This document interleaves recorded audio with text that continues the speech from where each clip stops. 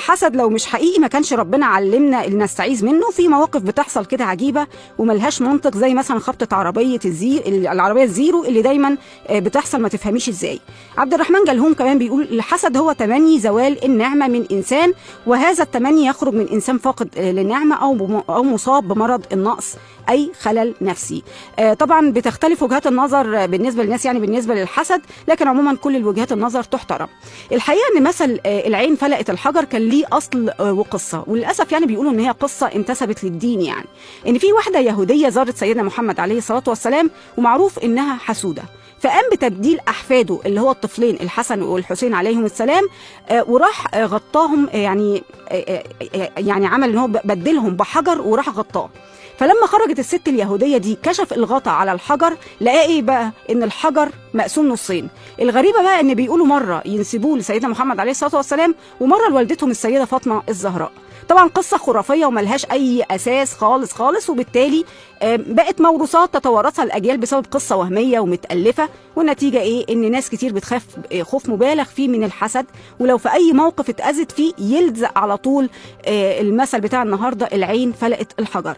إزاي تخاف؟ والحقيقة الثابتة إن ربنا سبحانه وتعالى بيحميك من أي حسد حسد وكمان بيديلك الحلول. يبقى لا تخاف ولا تردد كلام ملوش أصل سليم. مش كده ولا إيه؟ ده تاتش فؤاد المهندس. قبل ما اطلع فاصل هقول بس رسالة كده آه، لطالب بجامعة الأزهر آه، في في الفرقة الرابعة جامعة أسيوط. الحقيقة إن هو اهتم إن هو يعني يجاوب على سؤال الحلقة وأنا طبعا بشكره جدا.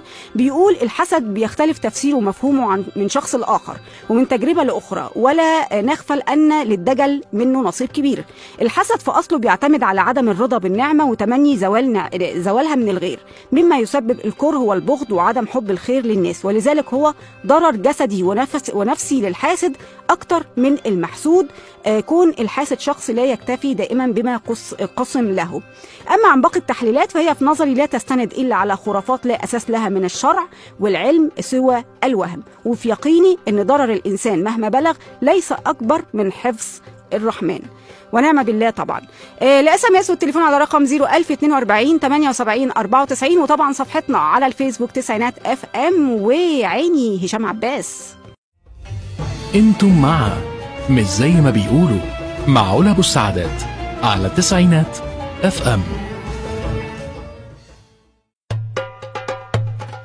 ال SMS والتليفون على رقم 01042 78 94 وطبعا صفحتنا على الفيسبوك تسعينات FM سؤال الحلقة النهارده كان احكي لي عن مفهوم الحسد من وجهة نظرك.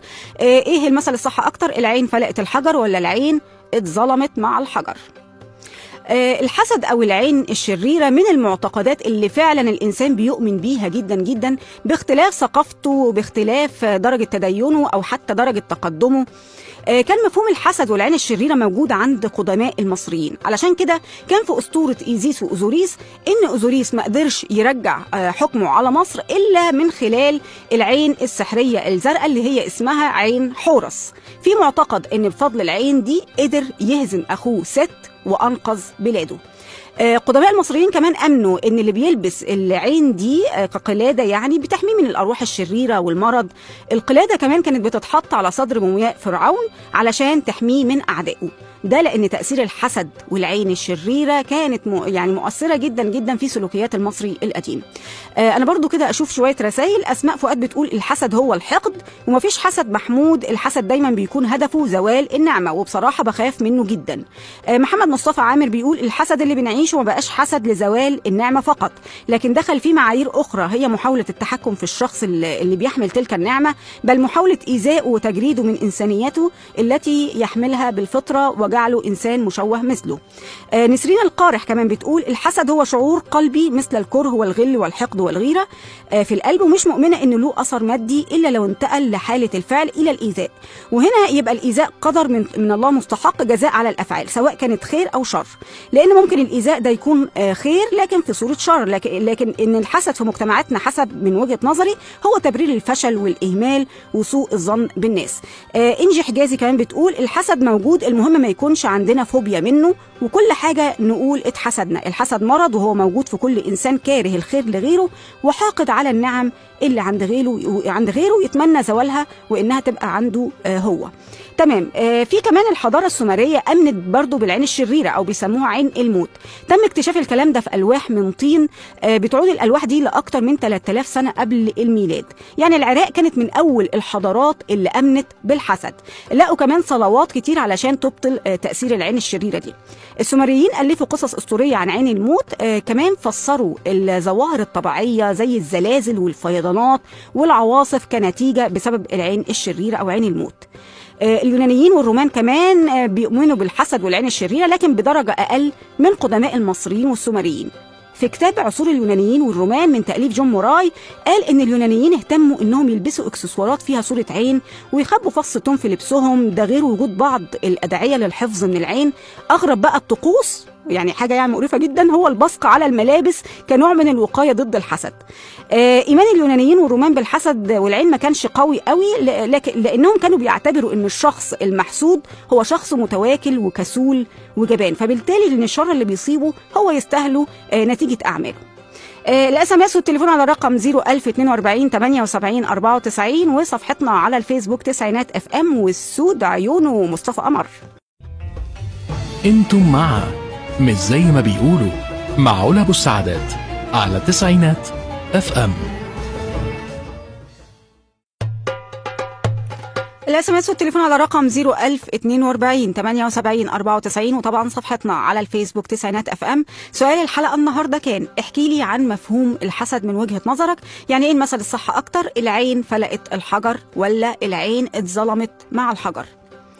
الحقيقة إن في كتاب عظيم جدا جدا جدا اسمه Transurfing الواقع للعالم الفيزيائي الروسي فاديم زيلاند Transurfing الواقع ده اسم النظرية هي مش حاجة مترجمة اللي هو يعني إزاي تتحكم في الواقع بتاعك.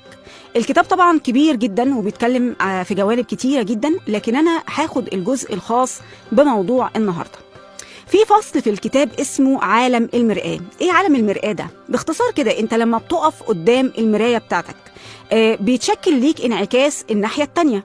نفس الموضوع في عالم المرآة بتاع فاديام زيلاند. الواقع بتاعك بيتشكل من الجهتين. ناحية انت واقف فيها بأفكارك ونواياك وأفعالك حاجة مادية يعني انت اللي متحكم فيها.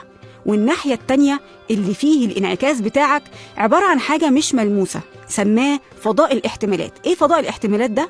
عبارة عن عدد غير محدود من الأحداث والسيناريوهات المتوقعة والغير متوقعة. ملايين يعني من الأحداث. يعني ببساطة كده الأحداث اللي بتحصل لك في حياتك انعكاس ليك ولأفكارك ولأفعالك ولصورك الذهنية.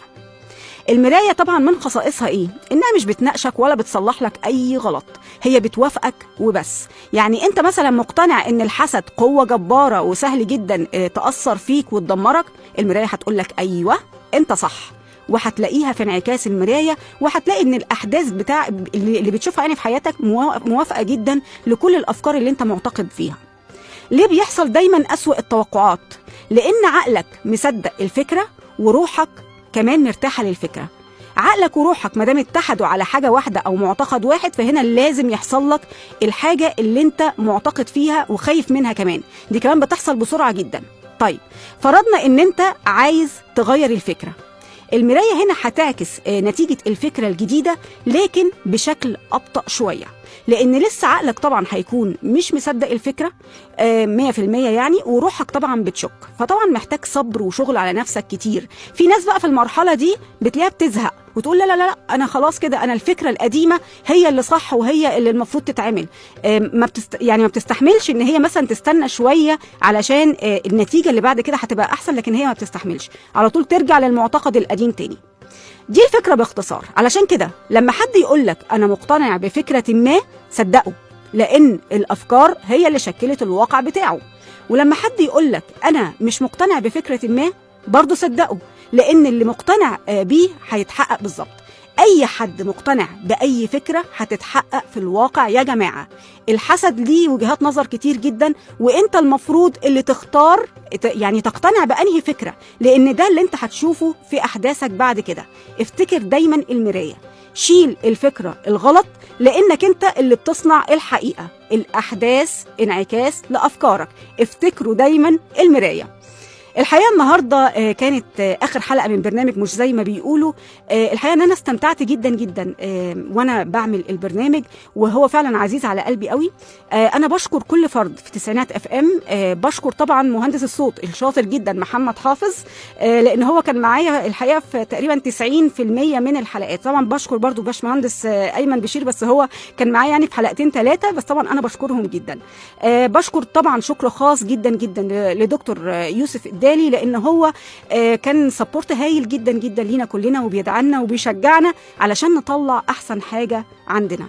آه، بشكر جدا جدا عيلتي الصغيرة آه، والدتي ربنا يديها الصحة يا رب وطبعا إخواتي الاثنين وزوجاتهم لأنهم كانوا بيدعموني جدا جدا وبيقدموا لي كل نصايح وكل حاجة وكانوا هم دايما اللي يقولوا لي إيه الحلو وإيه الوحش علشان دايما أحسن من نفسي. شكر أخير لكل المستمعين آه، التسعينات FM وخصوصا برنامج مش زي ما بيقولوا. بفضلكم أنتم أنا لسه مكملة معاكم وإن شاء الله بإذن الله أشوفكم قريب. آه، يا رب أكون قدرت إن أنا أقدم آه، معلومة بشكل يفيد فعلا ويكون بشكل بسيط يبسطكم يا رب دايما. أتمنى لكم كل السعادة وزي ما ابتديت الموسم بفرحة. برضو أنا هنهيه بفرحة وه- وههديكم الأغنية اللي جاية دي. كنت معاكم علا أبو السعادات وبرنامج مش زي ما بيقولوا على تسعينات FM أجمل ذكريات وأشوفكم يا رب بألف خير. bye bye.